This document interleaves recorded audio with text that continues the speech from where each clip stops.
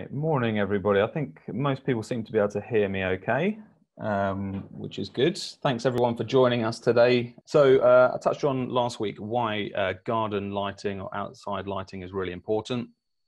Um, the first reason is because when you're inside the house at night time, um, it can be that your uh, glass doors at the back of the house can turn into uh, basically a big black mirror and you end up seeing a reflection of yourself and the room, the interior spaces. So your living space shrinks at night time. Uh, and you can see that in the image that I'm showing now.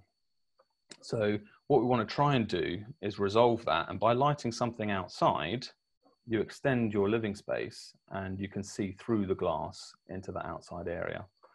The second reason why we want to do some outside lighting is because we want to create an outside living space, um, particularly important um, in areas of the world where um, you have warmer color, you have warmer temperatures, um, and in those spaces you can enjoy um, outside spaces into the evenings. Uh, obviously, in the UK, in London, we've had some great sunshine over the past week, um, but actually that's probably the best we're going to get for the rest of the year usually too cold. So the first point is probably more appropriate.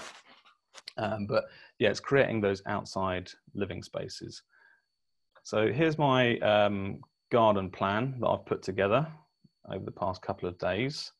Um, so this is a, it's not a real garden, something I co cobbled together, a few uh, elements within that.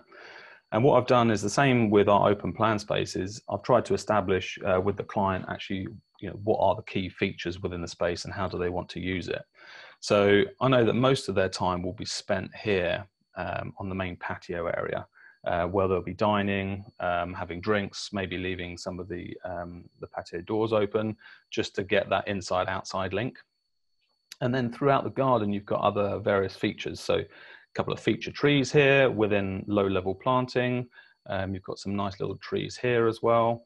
Um, these are some uh, Buxus pyramid cones, so sort of tall, um, narrow cones. The steps lead down onto this lawn here.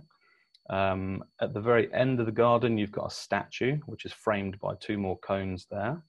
Um, and at the back, you've got um, a large tree and a few specimen trees as well, either side.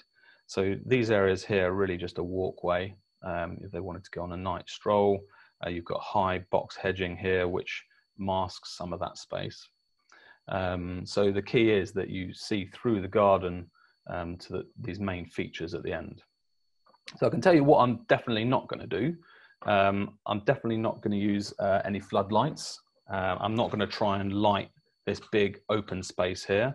I'm not going to try and light directly down onto the coffee table from the building um, what I'm going to try and do is exactly what I've done for the uh, open plan living spaces, which is to focus onto different features within the space, trying to layer the lighting uh, and also give uh, depth and texture to the garden.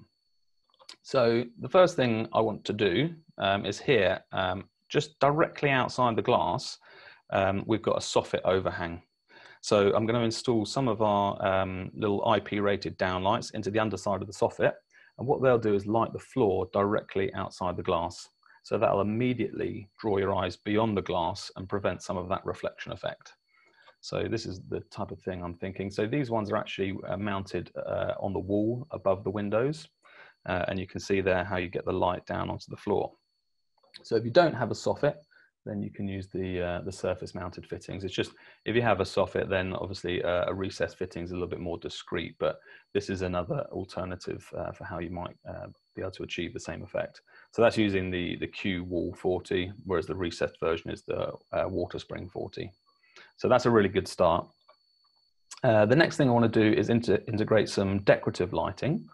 Um, so there's three different elements that I want to do. So here either side of the main doors uh, from the interior area is uh, a decorative wall light uh, or a lantern. So that would give you a nice framing effect to the doors, but also a nice ambient light in on the patio area.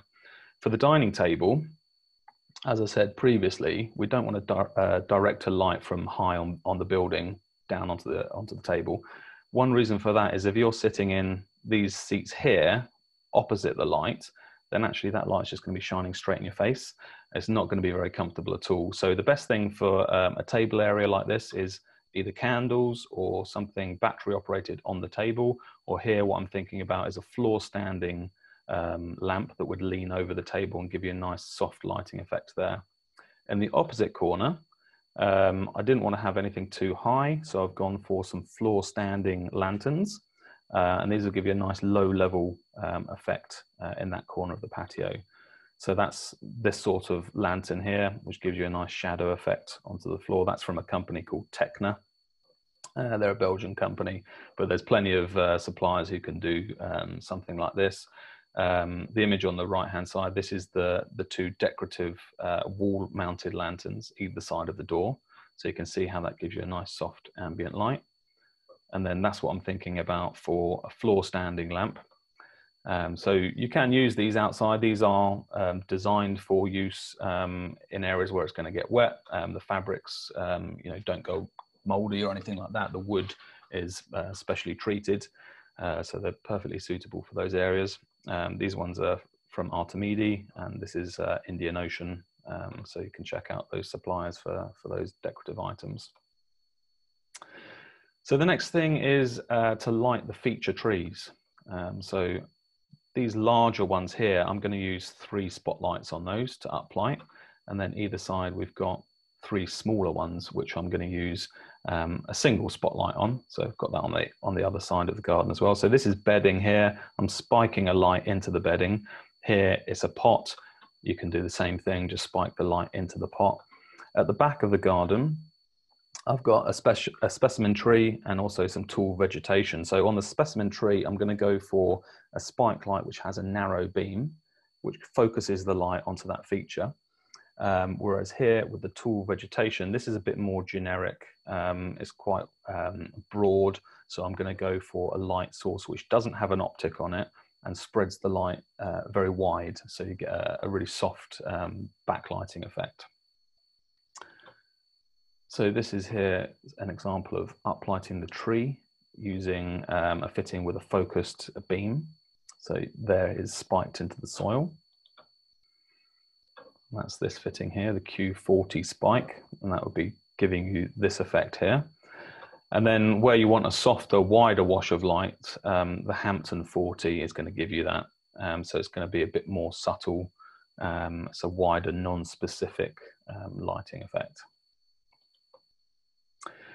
So with spike lights, um, there's a lot of benefits, but also um, there's a few practical considerations to make as well.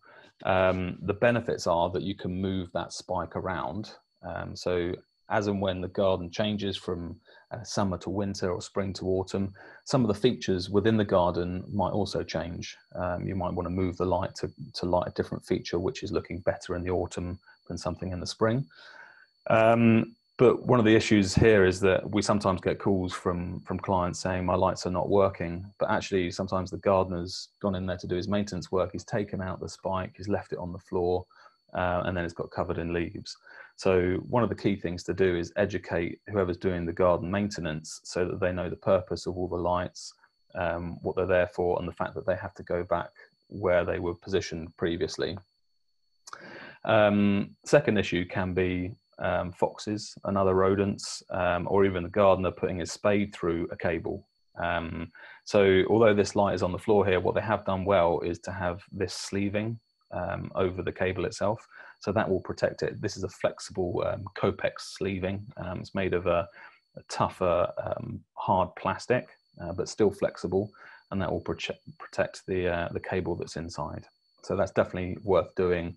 Um, so it's added um, some additional expense and time uh, for the installer, but actually it's going to ensure that this lighting will last um, and not fail.